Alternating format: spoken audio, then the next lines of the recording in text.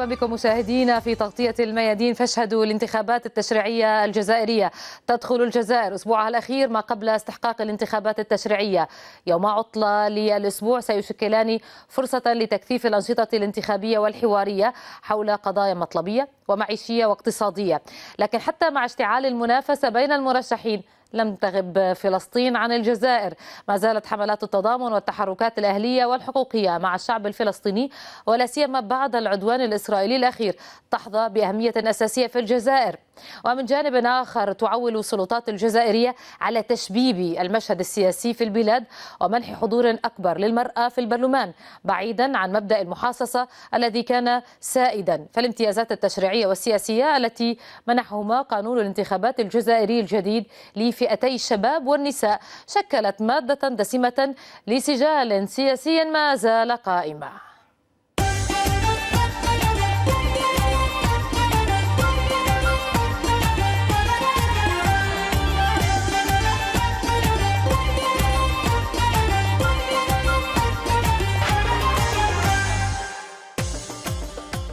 في الجزء الأول من ساعة التغطية. هذه معنا من العاصمة الجزائرية مسؤول لجنة الإغاثة في جمعية العلماء المسلمين الجزائريين سيد كريم رزقي. ومن العاصمة الجزائر أيضا معنا ممثل اللجنة الشعبية الجزائرية لدعم فلسطين المكي قسوم. مرحبا بكما. اسمح لنا قبل أن نفتح النقاش في هذا المحور تحديدا أن نستعرض هذا التقرير.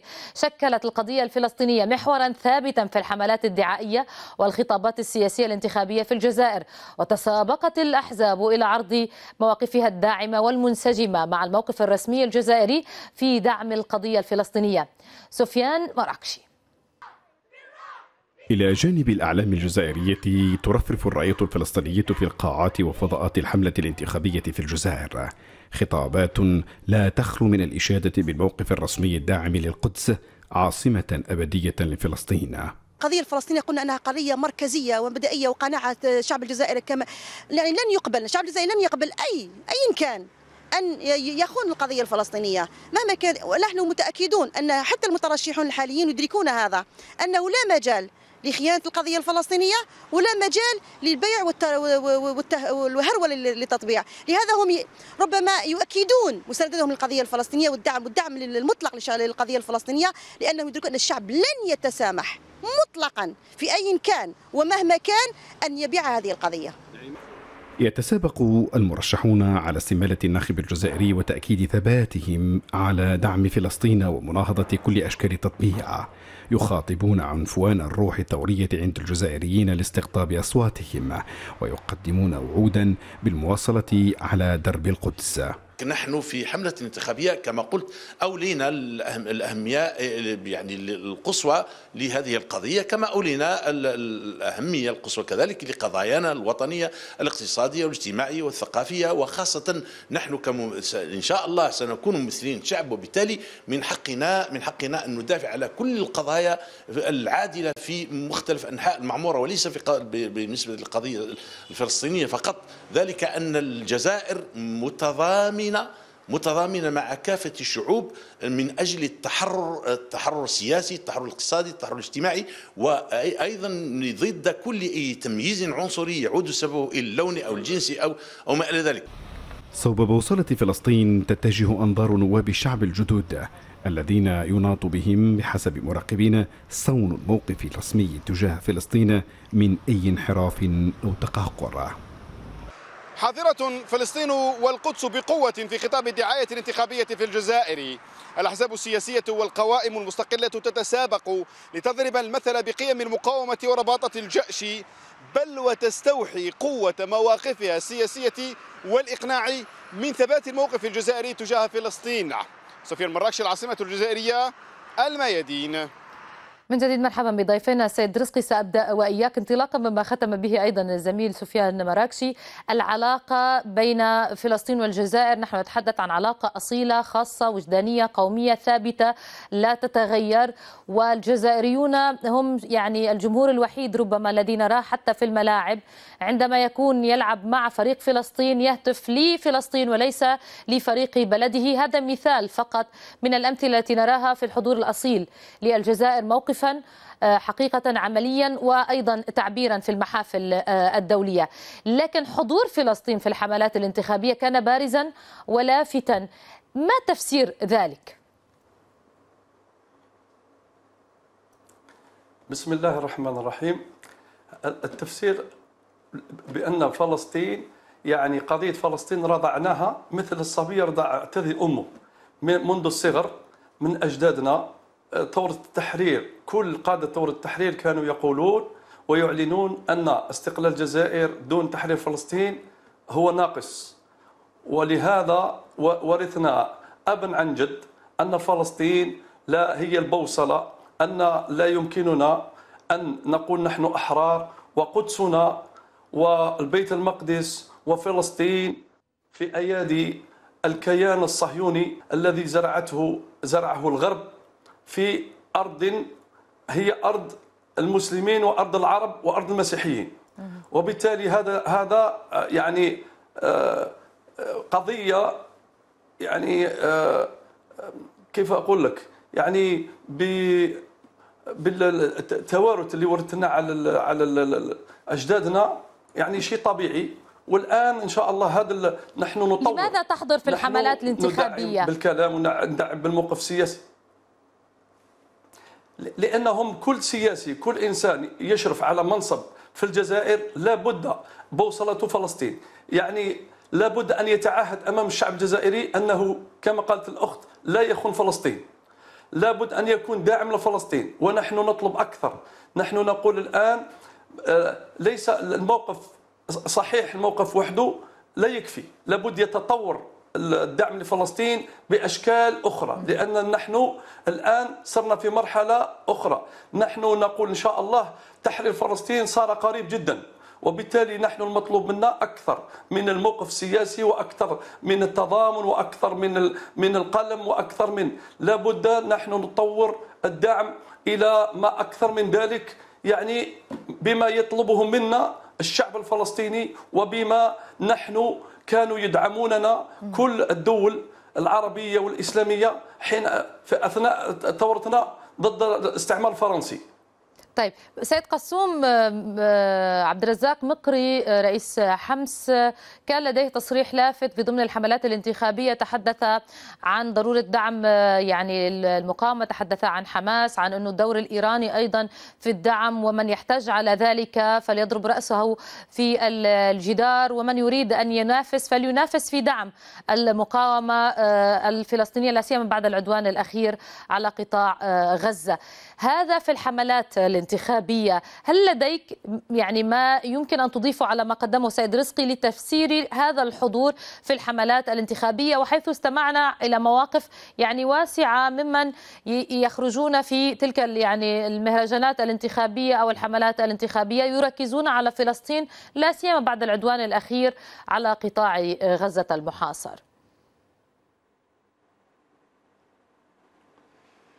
بسم الله الرحمن الرحيم. أشكر قناتكم وأرحب بدوري بالضيف الكريم. آه، حديث الأستاذ رئيس حمس الأستاذ عبد الرزاق الدكتور عبد الرزاق مقري وغيره من من السياسيين الجزائريين. آه، جاء آه، لأن المناسبة مناسبة تنظيم الانتخابات التشريعية 12 جوان 2021 كان في خضم يعني أو تناسب مع العدوان الأخير على آه، غزة ومن خلاله طبعا العدوان على فلسطين كلها آه، جاء يعني رد فعل الغزاويين آه، تضامنا مع إخوانهم في في في بيت في بيت المقدس. وطبعا لا يستطيع إنسان يعني سواء كان سياسي أو غيره آه، وخاصة من الجزائريين الذين آه، كما قال ضيفك رضعوا القضية مع مع لبانهم الأولى. آه، هذه القضية التي يعني الجزائريون وهم تحت نير الاستعمار الفرنسي ومع ذلك تحدث علماؤهم وشعراءهم وأدباؤهم عن عن هذه القضية التي ورثناها كابرا عن كابر ولا زلنا نورثها لأبنائنا كقضية مركزية للمسلمين جميعا ولنا نحن الجزائريون على وجه الخصوص الذين لدينا ذكريات في القدس الشريف نحن لدينا تاريخ لدينا تاريخ بومدين الغوث وغيره.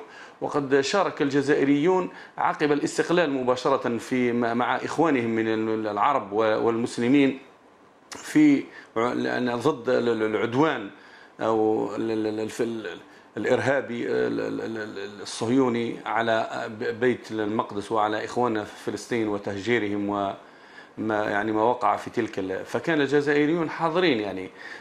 ما أردت أن أقوله لأختي ولكل المستمعين في قناة الميادين أن أنه لا معنى لا معنى للحديث عن أي موضوع آخر. الجزائريون بالرغم من من من معاناتهم ككل ككل يعني لديهم ما ينقصهم ولديهم ما يشغلهم في حياتهم اليومية وما يريدون يعني من السياسيين تحقيقه في في في في قضاياهم ولكنهم لا يستطيعون يعني لا يستطيع أي واحد يعني يخاطب الشعب الجزائري ويتجاوز هذه القضية سيما وأنها كما قلت تزامنت مع هذه الأحداث الفظيعة التي شاهدها العالم ظلما وعدوانا على إخوانهم في فلسطين كافة. طيب سيد رزقي كنت أشرت إلى أنه أيضا مطلوب يعني في موقف جزائري شعبي على كافة المستويات وصولا نحن نتحدث أيضا على المستوى السياسي إلى المستوى الرسمي داعم حاضر للقضية الفلسطينية هذا موقف تاريخي أصيل كما أشرنا وقلت يجب أن نقدم المزيد.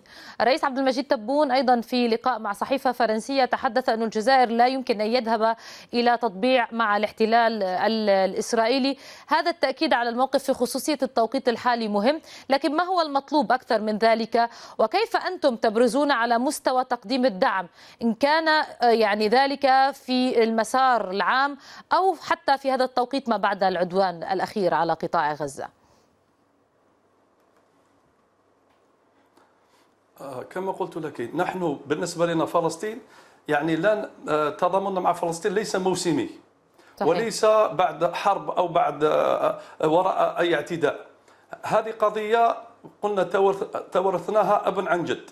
أنا أعرف وأنا كمسؤول يعني العلاقات في هيئة الإغاثة التابعة لجمعية العلماء المسلمين وبصفتي كرجل أعمال نحن لنا فلسطين لها حق علينا في زكاتنا في في ال الربح في كل قضية ولا كل ما نربحه من أموال إلا وفلسطين لها نصيب. وهذا طول السنة. أنا فيها أشخاص أعرفهم يأتوني بخمسة دولار يعني راتبهم 200 دولار يوفق خمسة دولار يقول لك هذه لفلسطين. فيه أنا أنا أعرف يعني في بيوتنا وربينا على أولادنا وهكذا تربينا في حصالات صغيرة تاع اطفال صغار. حصله يعني من العيد العيد لما تملأ يقول لك هذه أتبرع بها ابنك الصغير لبنتك إلى بنت ولا ابن في في فلسطين. هذا هذا شيء يعني ورثناه. نحن الآن نريد أن نطور. الآن لما نتكلم الأخت لما سمعت ضيفك الكريم يتكلم على أخ مقري لما يحكي على إيران. إيران دعمها نحن نحن نريد أن نصل إلى مستوى تاع إيران حتى نكمل وحتى يكون يكون كيف يقولوا تكامل. الأمة هذه مدينة لإيران ومدينة لفلسطين لأن لابد أن ندعم ندعم فلسطين كما ينبغي وندعمها كما تريد منا لأن لتكون تحرير فلسطين يكون قريب جدا. نحن لا نريد أن تطول المسافة وتطول الأيام وتطول السنين. لو كان يعني أضرب لك مثلا وأقول هذا على مسؤوليتي. لو البلدان العربية والإسلامية لليوم الآن تتبرع لفلسطين لو تبرعت لفلسطين بمثل ما تبرعت للإرهابيين والمسلحين اللي يريدون تدمير سوريا وليبيا وغيرها لو بنفس الحجم تاع الأموال لفلسطين خلاص تحررت. وهذا قالوا لي إخواننا من الموجودين في في الميدان الذين يدافعون عن شرف الأمة في غزة وقالوا لي لو أعطينا ربع أو عشر ما ما ما أعطي للمعارضات وللمسلحين وللإرهابيين. في شتى بلدان ليدمروا البلدان العربية لكان النصر قريب لكان لكان فلسطين لتحررت ليس غزة لتحررت القدس وغير القدس. يعني كان آه، فلسطين تاريخيا الآن راهي محررة. يعني لكن للأسف نحن أولويتنا راهي مختلفة جدا في البلدان العربية. لكن إحنا كشعوب وكجمعيات نحن هذا لابد نحن والحمد لله نحن لنا آه، آه، سياسة وعندنا رئيس وعندنا حكومة وعندنا دولة يعني بشتى بكل فروعها.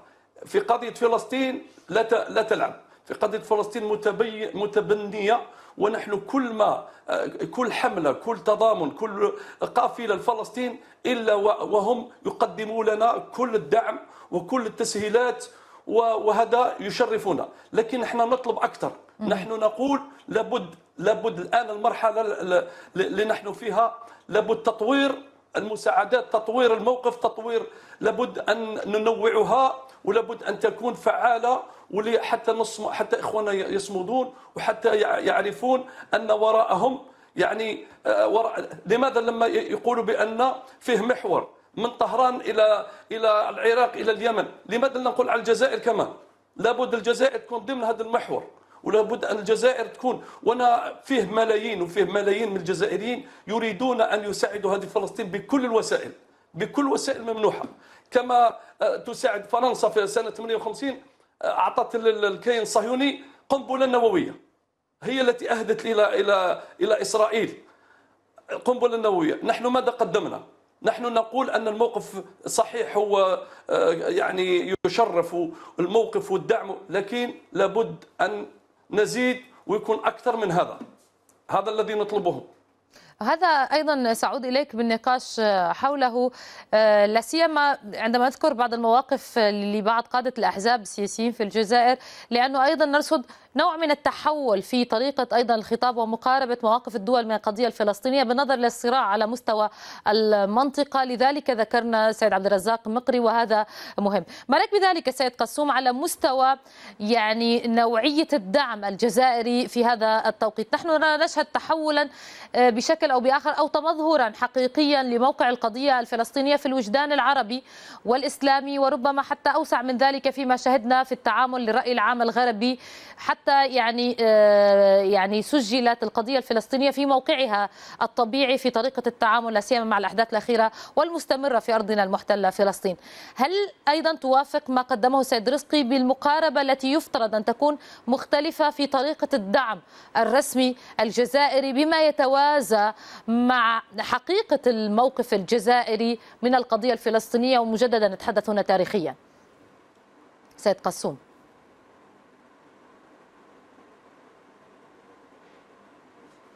سيد قسوم لا يسمعني سأحتفظ بالسؤال يعني نصف, آه، نصف السؤال الأخير لم أسمعه لو سمحتي. فقط نقطة يعني هل أنت ترى يعني ما طرحه السيد رزقي بأنه يفترض أن يكون في نوع من تطوير للموقف الداعم الجزائري من القضية الفلسطينية رغم أصالته وحضوره؟ لا أسمع. لا يسمعني سيد قسوم. سيد رزقي أعود إليك لي يعني نقطة المقاربة بالنسبة لبعض الأحزاب السياسية حتى من طريقة قراءة القضية الفلسطينية وبعض أيضا الدول التي تدعم وذكرت من بينها إيران. هذا يعني أيضا كيف أنت تعلق عليه؟ وإلى أي حد قد يكون رافعة لما تتحدث عنه؟ ما تعتبره ضرورة تطوير الموقف الداعم الجزائري؟ أن الموقف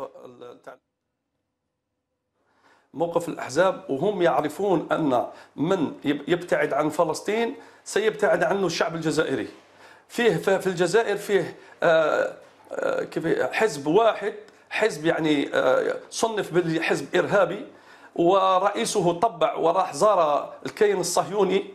الآن انتهى هذا الشخص انتهى لأنه مدام قربه من من الكيان الصهيوني وقربه من المحتل. يعني هذا خلاص هذا فصله عن أمته فصله عن عن عن وطنه. لأن هذا الإنسان صار دخيل على الجزائريين. وبالتالي وكل الأحزاب الحمد لله بكل آه، مشاربها بكل اختلاف آه، أفكارها وكذا. لكن نتفق على فلسطين. وكلما كانت آه، مضاء أو ندوة أو من أجل فلسطين تجدين كل الأحزاب كل الشخصيات حتى المتناقضة. المتناقضة لكن نحن نقول كلما التقينا نقول فلسطين توحدنا. وهذه نقطة فعلا حقيقية. هذا شيء في الجزائر أقول لك هذا شيء عادي. هي القضية التي تجمع الجميع بالجزائر هذا نعم. صحيح.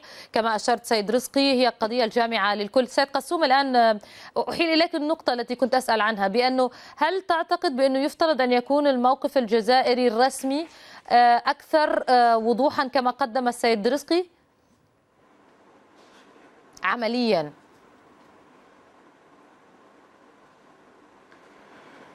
في الحقيقة أن أن الموقف الجزائري آه، لا يحتاج إلى إلى إلى توضيح كما بمعنى كما أكثر تطوير يعني هو يقول بأنه إمكانية أن نرى دعما أوسع أو أكثر تطورا خصوصا في المرحلة الحالية. بالنسبة لنا نحن كمجتمع مدني وكأعضاء في الجبهة الشعبية لمناصرة الشعب الفلسطيني آه، التي تضم عشرات الجمعيات وهي في تزايد مستمر آه، نعم نطالب بأشياء آه، يعني تكون رسمية. نطالب بفتح مثلا بتنظيم تيليطون للشعب الجزائري وتتبنى الدولة هذا التيليطون. نطالب كذلك بفتح حساب خاص للتبرع للشعب الفلسطيني. يعني على على على الصعيد على الصعيد يعني المادي. كذلك نطالب بفتح المجالات ووسائل الإعلام للتعبير أكثر يعني لفعاليات المجتمع المدني جمعيات وأحزاب ونقابات ومنظمات للتعبير آه، عن مدى التعاطف تعاطف مع الشعب الفلسطيني. ونحن جزء من هذا العالم الذي انفتح الآن. لا نحن لم نشاهد أي جمعية في العالم آه، تتضامن مع مع الصهاينه ولكن شاهدنا العالم الحر كله بما بما فيه يعني العرب والمسلمون. وحتى العواصم العالمية التي كانت لا تتحدث آه، يعني فيها إلا وسائل آه، الإعلام الإسرائيلية الآن أصبح كل العالم يهتف يعني آه، باسم غزة ويهتف باسم القدس ويهتف بالحق الفلسطيني في هذه الأرض وأصبح كل العالم متضامنا مع إخواننا في فلسطين. وهذه فرصة لنا نحن ولكل أحرار العالم ولكل المسلمين وكل العالم العربي والإسلامي آه، أن يزيد من دعمه وأن يزيد من فتح القنوات يعني آه، سواء كان يعني قوافل القوافل الإغاثية أو سواء كان التبرع المادي الذي يعني يجمع فيما بعد لصالح القضايا الفلسطينية خاصة وأن الضرر الأخير في يعني كما تحدده الأخبار من هناك من من من فلسطين سواء على في يعني في مدينة القدس اسمح لي هنا سيد قسوم آه، يعني أنا استفيد أيضا يعني من ما تمثلون وأنتم عضو مجلس أمناء الهيئة العربية الدولية للإعمار في فلسطين. هنا كيف تنشطون في هذه المرحلة؟ نحن لا نتحدث عن دعم يعني موسمي هو دائم لكن في مرحلة ما بعد العدوان الأخير على قطاع غزة كيف تعملون؟ ما هو ما هي آلية العمل؟ والآن كيف تستطيعون أن تترجمون يعني يعني ما تحمله هذه الهيئة؟ من عنوان. نعم. في الحقيقة أن أن أن أننا بالنسبة لنا نحن هناك آه، عمل دائم ومستمر لكن هذه المرة نستطيع أن نتقدم بمشاريع. هناك آه، مشاريع مثلا آه، تكون دعمها يعني وريعها للشعب الفلسطيني. نحن نريد أن نشترك في بناء ما يعني تنهت إلينا إلى مسامعنا الأخبار في, في ونحن كعضو في مجلس الأمناء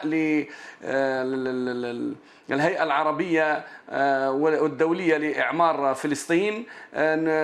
نحن الآن نشترك منذ أكثر من سنة في بناء مركز صحي نفسي آه، لفائدة السجينات ولفائدة آه، يعني المحررات من سجون الاحتلال الفلسطيني وما يعانينه من صدمات نفسية. آه، نريد أن نشترك فيها في هذا العمل. كما نريد كذلك أن نشترك نعم. في بناء مستشفى في مدينة القدس آه، لفائدة كذلك إخواننا الفلسطينيين الذين يعانون آه، من صعوبات كبيرة في جوانب حيوية هامة مثل الصحة والتعليم آه، وغيرها من من المجالات طيب. التي الكثيره التي تنقص إخواننا الفلسطينيين. طيب في جملة قبل الذهاب للسيد رزقي الصحي أنتم يعني تقدمون يعني بأن الهيئة العربية الدولية يعني دولية من يشارك فيها وعربية من يشارك نعم. فيها بجملة لطفا يعني توضيحا.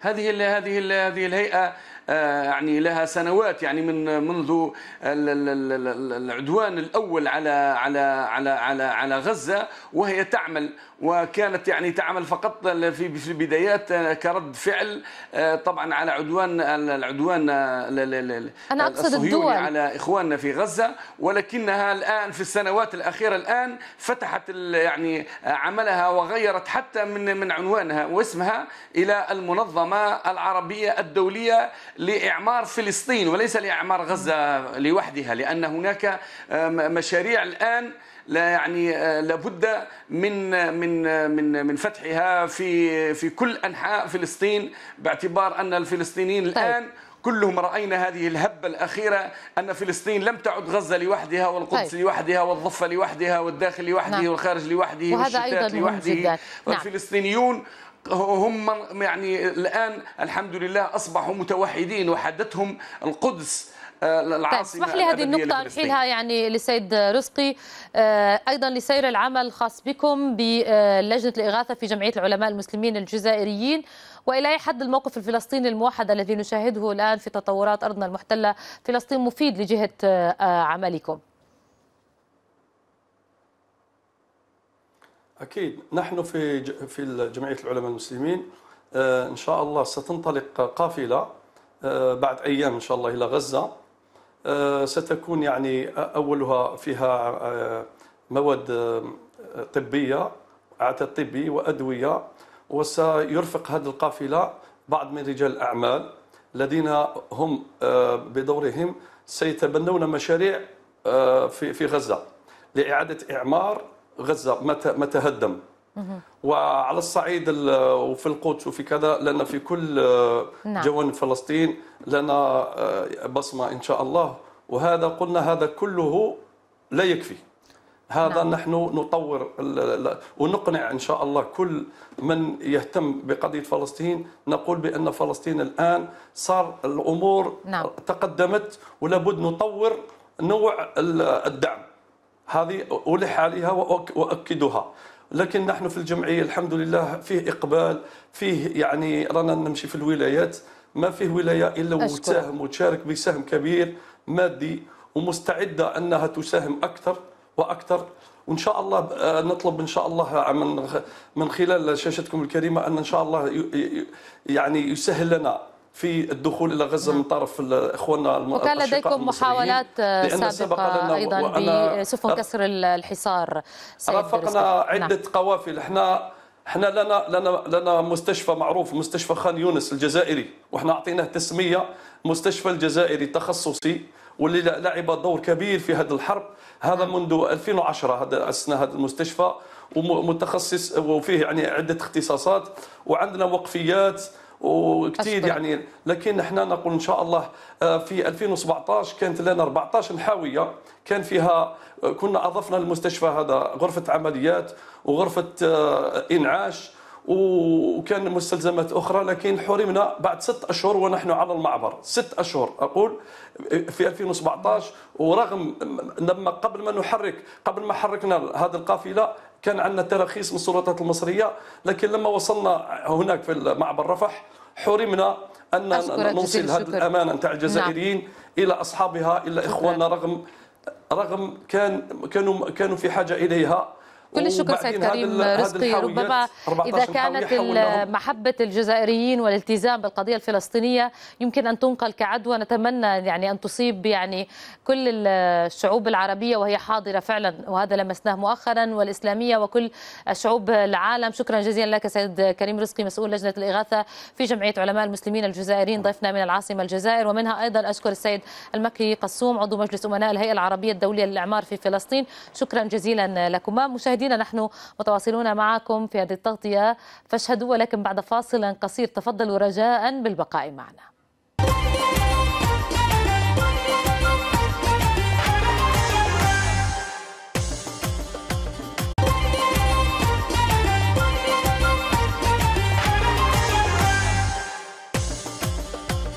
أهلا بكم من جديد مشاهدينا في فاشهدوا هذه التغطية الانتخابات التشريعية الجزائرية من الميادين. الآن وصلنا أيضا للمواكبة أكثر في المشهد الانتخابي لجهة حضور الشباب والنساء حيث شكلت التدابير الجديدة في قانون الانتخابات الجزائري بخصوص فئتي الشباب والنساء مادة للجدل السياسي وهي مادة جدل كبيرة لا سيما لدى الأحزاب المعارضة للتشريعيات المسبقة. في المقابل اعتبرت التيارات السياسية الداعمة للخيار الدستوري أنه كان يجب عدم الاستعجال في تطبيق شرط المناصفة في قوائم الترشيحات. سليم بوزيدي. بعد عقود من العزوف بالآلاف دخلوا معترك السباق الانتخابي. الشباب الجزائري يعود بقوة للمشهد السياسي وزاد من إقبالهم طلب ود الجزائريين لدخول البرلمان المزايا التي منحهم إياها قانون الانتخابات الجديد. مناصفة اشترط المشرع الجزائري أن تكون قوائم الترشيحات بين الشباب وكبار السن. والأهم من ذلك أنه إذا زاد تساوي عدد الأصوات التي يحصل عليها مرشح شاب مع مرشح يفوق الأربعين عاما يمنح الفوز آليا للفئات الشبابية من المرشحين. المرأة شكلت هي الأخرى مادة للجدل السياسي في الجزائر منذ الإعلان رسميا عن استحقاق الثاني عشر من الجاري وذلك بعد تجربة المحاصصة أو نظام الكوطة كما يعرف في الأدبيات السياسية الجزائرية. التعديلات الدستورية الجديدة جاءت لتشترط تقسيم عدد المرشحين في القوائم الانتخابية بالتساوي بين الرجال والنساء على أن تستثنى المناطق التي يقل عدد سكانها عن 25 ألف نسمة. شرط المناصفة للشباب والمرأة في قانون الانتخابات الجديد أخرج مئات القوائم من السباق الانتخابي. أمر دفع الرئيس تبون للتدخل ومنح السلطة الوطنية المستقلة للانتخابات صلاحية منح ترخيصات استثنائية لبعض القوائم بناء على طلب تتقدم به. تشرح فيه أسباب عجزها عن تحقيق شرط المناصفة. معظم الأحزاب في الجزائر تحفظ على ما وصفه باستعجال السلطة بتطبيق تدابير تعزيز فئتي الشباب والنساء في المشهد السياسي. والأكثر من ذلك أن بعض التيارات المعارضة لخيار المسار الدستوري الذي انطلق منذ الرئاسيات الماضية اعتبر أن ما يحدث في الانتخابات الحالية لا يعدو كونه لتغيير الواجهة السياسية من دون إحداث تغيير جذري حقيقي. للنقاش معنا من العاصمة الجزائرية المرشحة المستقلة والناشطة الجمعوية سيدة بسمة بالبجاوي ومن الجزائر العاصمة أيضا المرشح المستقل والناشط السياسي الدكتور حسام حمزة. مرحبا بكما. دكتور حمزة سأستأذنك بالبداية مع السيدات مع بسمة. وأنا بحثت عنك ما فهمت بأنك أيضا سيدة أعمال لديك بعض التجارب والمشاريع حتى تلك المعنية بالبيئة إعادة التدوير وما إلى ذلك. يخطر ببالي السؤال مباشرة ما الذي دفعك في هذه المرحلة لتخوضي معترك يعني السياسة والدخول بالانتخابات التشريعية؟ إلى أي حد ساهم القانون الجديد للانتخابات بإقدامك على هذه الخطوة؟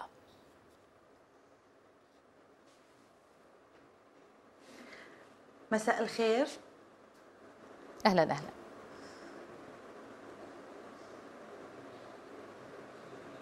تفضلي بسمة. مساء الخير. سمعت سؤال آه، نصف السؤال.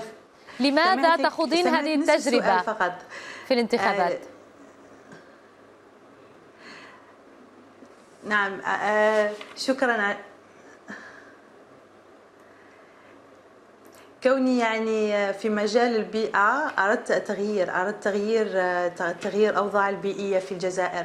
في مجال البيئة مجال تسيير نفايات رسكلة لهذا أخوض أخوض يعني معركة الانتخابات التشريعية يعني لتغيير الأوضاع. هل ساعدك القانون الانتخابي الجديد أو القانون الخاص بعملية الترشيح أن نكون مناصفة موضوع الشباب أيضا حضور النساء التحرر مفهوم الكوتا بين قوسين في حضور المرأة بالبرلمان الجزائري إلى أي حد ساهم بأن نراك مرشحة الآن حاضرة في هذا السباق الانتخابي؟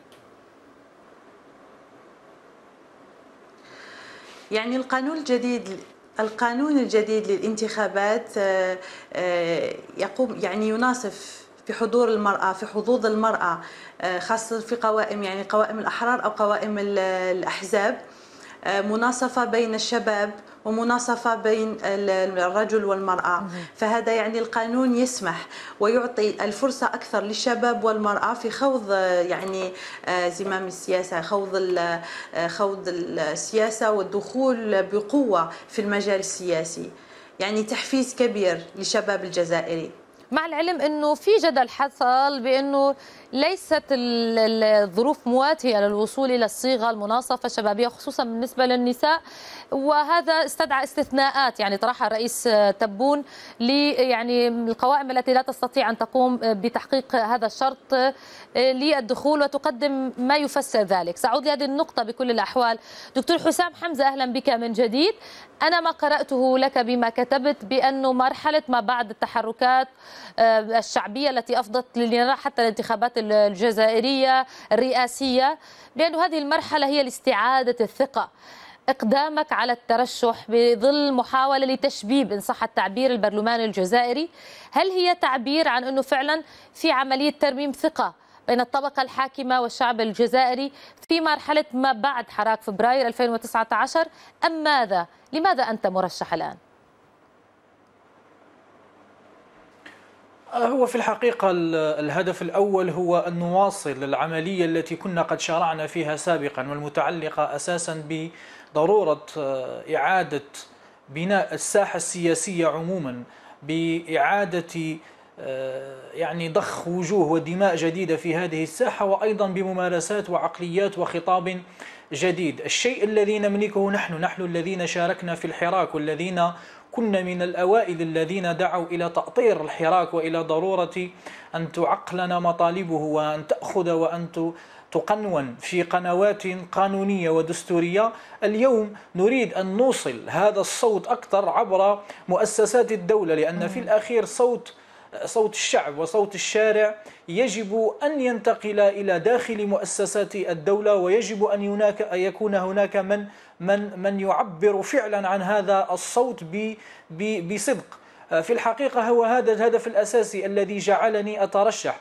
أنا أرفض يعني أن يكون هذا الحراك المليوني الذي خاضه بالدرجة الأولى الشباب الجزائري أن لا يكون هناك من يمثله من الطبقة الجديدة من أشخاص جدد الذين في الحقيقة انبثقوا وبرزوا بعد الحراك وتكون الساحة فارغة فقط للذين كانوا سابقا والذين هم جزئيا ونسبيا سبب في المعضلة وسبب في المشكلة التي خرج من أجلها الشعب الجزائري إلى الساحات وإلى الشوارع.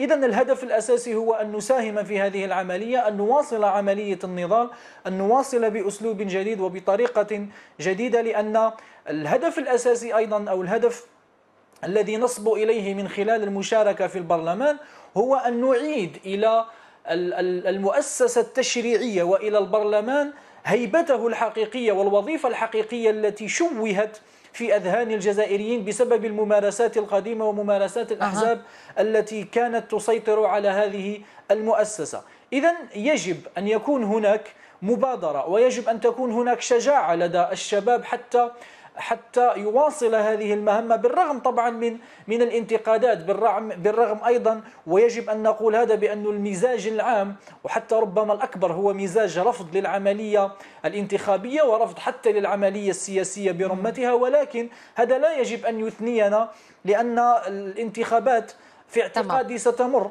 وكل المؤشرات الواقعية تقول بأنها ستمر وستكون خسارة كبيرة جدا. لنا نحن الشباب وخسارة أيضا للحراك إن لم يجد من يوصل صوته في المؤسسة التشريعية. وبمثل هذا التغيير التدريجي بمثل هذه الممارسات سنحاول أن نعطي صورة جديدة. ممتاز. ربما ستساهم مع الوقت في استعادة الثقة لدى الشعب الجزائري ولدى المواطنين في المؤسسة التشريعية. بس ما سأحرضك للحديث أكثر يعني دكتور حسام حمزة يتحدث يشرح خصوصا بهذه المرحلة. سأحرضك للحديث أكثر. خصوصا بما تم طرحه أنه الآن ليست جاهزة جاهزة الظروف لوجستيا ربما لعملية حضور المرأة في البرلمان الجزائري وذلك انعكس بأنه بعض القوائم لم تستطع أن تنفذ الشروط الخاصة بحضور المرأة بالعدد المطلوب كما طرحه القانون الجديد ما رأيك بهذا الطرح؟ وإلى أي حد أيضا إنه تقدم المرأة بطريقة لا تليق يعني المرأة الجزائرية حتى في الحملات الانتخابية. سمعنا بعض النقد لطريقه تقديم من زعم بعض القوائم الانتخابية لحضور النساء أيضا في قوائمهم.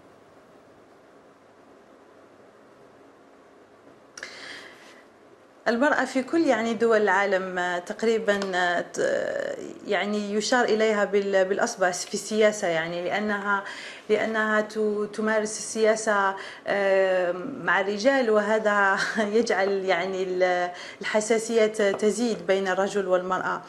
ف يعني المرأة أو الشباب عادة يجب عليهم اقتحام اقتحام المجال السياسي لأنهم يمثلون أكثر من ثلث المجتمع. وهذا يعني يجب يعني تتو يعني يتو يعني شباب يتوفر على يعني فئة عندها معرفة عندها عندها أخلاق يعني حاليا نريد أن نمر من يعني أخلقة الحياة السياسية. فنريد إحداث قطيعة بين الحياة الممارسات السياسية البالية القديمة. ويعني نحاول إحداث تغيير تغيير حقيقي. كيف ستقومين بذلك بسمة؟ يعني وإلى أي حد تشعرين بأنه في تكافؤ نعم. فرص؟ بأنه في أحزاب تقليدية حاضرة عندها خبرة بالعملية الانتخابية والسياسية وبالتالي تشعرين بأنه في تكافؤ فرص وهناك إمكانية فعلا لترجمة ما تقولين لحضورك بما تحملين في البرلمان المقبل. أكيد يعني فقدان الثقة في العمل السياسي فقدان الثقة في هذا العمل السياسي بسبب تراجع دور الأحزاب في التاطير السياسي تراجع دور الجامعات والمدارس في في التكوين السياسي. جعل انه الشباب يتراجع وفيه عزوف يعني عزوف من فئة الشباب للانتخابات التشريعية وهذا مش غير في الجزائر يعني في جميع الدول العربية تقريبا. فاحنا أنا كشابة وامرأة يعني قررت خوض مجال السياسة لإحداث التغيير وإحداث القطيعة عن هذه الأفكار القديمة وأيضا تغيير الواقع السياسي بالنسبة للمرأة بالنسبة للشباب وأيضا بالنسبة لمجالي اللي هو مجال البيئة. مثلا يعني. هل الأمر كذلك بالنسبة لك دكتور حسام حمزة تشعر تشعر بأن لديك يعني حظوظ فعلا لأن تمثل ما تمثل بأفكارك وفئة الشباب في البرلمان المقبل سيما مع حضور يعني أحزاب قوية ضالعة في المجال السياسي وموضوع التمويل للحملات الانتخابية؟ كيف تستطيع أن يعني تبرز نفسك في حملة انتخابية تقول للناس ها أنا هذا برنامجي وبالتالي انتخبوني؟ الأمر في الحقيقة ليس ليس بهذه الصعوبة. يعني عندما نتحدث عن أن هناك أحزاب ضالعة في في العمل السياسي أنا في الحقيقة أتحفظ على هذا على هذا التعبير لأن الخبرة التي نعرفها وما نعرفه عن هذه الأحزاب أنها في الحقيقة خبيرة في الممارسات غير الأخلاقية في العمل السياسي. خطابها أصبح رديئا ومستهلكا ولا يواكب الواقع. خطابها فيه الكثير من الشعبوية. خطابها ما زال حبيس المرحلة السابقة التي كانت العملية السياسية كلها مصنوعة وتصنع بأساليب التزوير وأساليب تزييف الصوت العام والرأي العام الجزائري. إذا عندما نقول بأنها ضالعة فهذا في اعتقادي تعبير لا يصف الحقيقة. الحقيقة هي أن هذه الأحزاب هي كلها أحزاب تقريبا يعني جميعها أحزاب طبعا منها القديمة التي لديها وعاء ومنها الجديد ولكنها تقريبا في حالة من القطيعة مع عموم الشعب ومن أغلب ومع أغلب الشعب الجزائري. جزء من المسؤولية تتحمله هي كأحزاب وجزء أيضا من المسؤولية قد يكون أكبر تتحمله السلطة من خلال ممارساتها وخاصة في عهد الرئيس المعزول. إذا آه، أنا في اعتقادي بأن أكبر صعوبة ليست في مواجهة الأحزاب وإنما الصعوبة التي نواجهها حقيقة مرتبطة بالمزاج العام بمزاج الشعب الجزائري الذي فقد الثقة ليس في الأحزاب السياسية ولا حتى في الانتخابات بل في العملية السياسية برمتها وهذا المشكل مشكل عويص ومشكل خطير جدا سيكون لديه تأثير صحيح. كبير جدا على مستوى نعم. على مؤسسات الدولة التي تستمد شرعيتها في الأصل من هذا الشعب إذا المهمة الأساسية والدور الذي يجب أن نقوم به جميعا ويجب أن أن يحرص على ذلك كل المرشحون سواء سواء كانوا أحرارا أو كانوا مرشحين نعم. باسم أحزاب سياسية هو أن يعملوا على استعادة ثقة الشعب الجزائري بعيدا ممتاز. عن الخطابات نعم. والممارسات نعم. القديمة ولكن هذا ليس هو الحاصل الحاصل هو عكس ذلك لأن الخطاب خاصة خطاب الأحزاب السياسية ما زال كما قلت رهينا نعم. للأساليب والطرق البالية نتحدث عن حوالي 837 قائمة حرة يعني مستقلة ليست ضمن الأحزاب السياسية وفي عدد كبير من القوائم يشارك بهذه الانتخابات. بس ما سأختم وإياك. أيضا بالنسبة لعملية الحملات والتمويل بنظر قطاع الشباب وأيضا آه، للنساء تستطيعين أن تقومي بعملية آه، عملية حملات انتخابية تمويل علما أنه الدولة تحاول أن تساهم كما فهمنا السلطات الجزائرية بدعم فئة الشباب لتمويل بعض الحملات الانتخابية.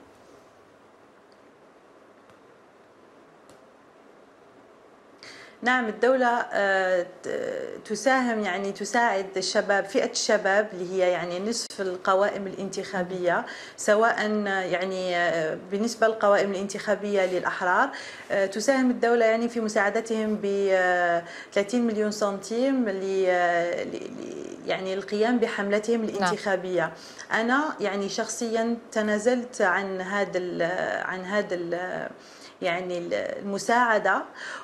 ولكن في القانون يعني تدعم الدولة فئة الشباب للمساهمة يعني معهم في حملتهم الانتخابية. وهذا لتفادي الأموال الفاسدة وأموال يعني رجال الأعمال مثلا يعني لجعل الحملات الانتخابية خالية من المال الفاسد.